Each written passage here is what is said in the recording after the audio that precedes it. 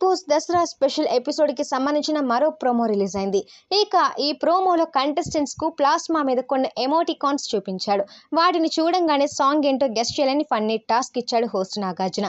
ఈ టాస్క్ కోసం హౌస్ మేట్స్ను టూ టీమ్స్గా డివైడ్ చేశాడు. ఇక ఈ ఫన్నీ టాస్క్లో శోభాశెట్టి బోలే షావ్లి సూపర్గా సాంగ్స్ గెస్ట్ చేసి స్టెప్పులతో అదరగొట్టేశారు. ఇక ఆ తర్వాత పులి మేక అనే మరో టాస్క్ పెట్టాడు. ఇక ఆ తర్వాత ప్రోమో ఎమోషనల్ టర్న్ తీసుకుంది. ఇప్పుడు ఫ్యామిలీస్ నుంచి లెటర్స్ వస్తాయని మీకు అని నాగ్ అనౌన్స్ చేశారు. దీంతో కంటెస్టెంట్స్ అందరూ ఎమోషనల్గా ఫీల్ అయ్యారు.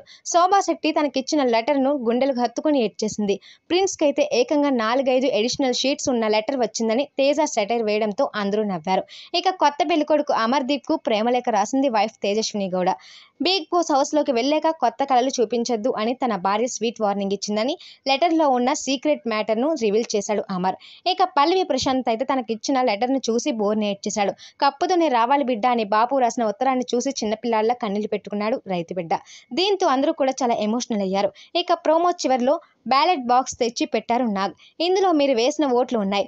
లీస్ట్ ఓటింగ్ పర్సన్ హౌస్లోకి రీఎంట్రీ ఇస్తారని నాకు చెప్పడంతో బిగ్ బాస్ డోర్స్ ఓపెన్ అయ్యాయి. అక్కడితో ప్రోమో ఎండ్ అయింది. అయితే దామిని శుభశ్రీ రతికాలు ఎవరు మళ్ళీ బిగ్ బాస్లోకి వస్తారని సస్పెన్స్లో పెట్టారు బిగ్ బాస్. కానీ ఈ ముగ్గురులో మళ్ళీ రీఎంట్రీ ఇచ్చేందుకు కాంట్రవర్సీ బ్యూటీ రతికాకి లైన్ క్లియర్ అయిందని విశ్వసనీయ వర్గాల సమాచారం. మరి బిగ్ బాస్లోకి మళ్ళీ వచ్చే ఆ లక్కీ లేడీ ఎవరో మీరే కామెంట్స్ చేయండి. మరిన్ని ఇంట్రెస్టింగ్ అప్డేట్స్ కోసం చూస్తూనే ఉండండి. అవర్